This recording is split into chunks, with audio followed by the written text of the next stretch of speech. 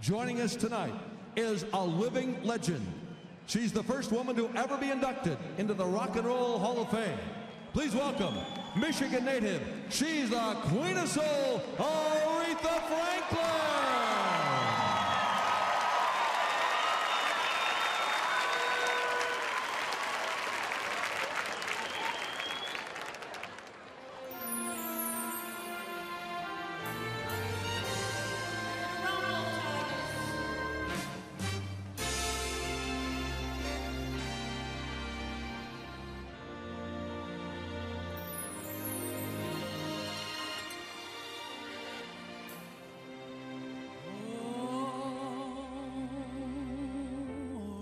say, can you see by the dawn's early light what so